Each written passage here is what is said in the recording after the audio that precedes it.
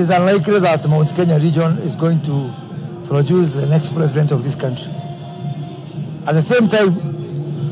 given our voting numbers,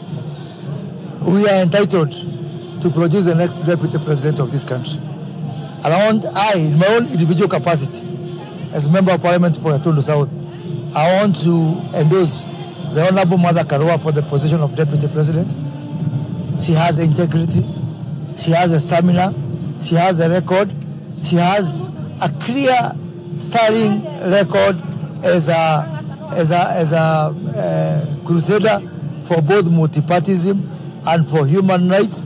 for defense of the constitution, unflinching. In fact, they used to say the only man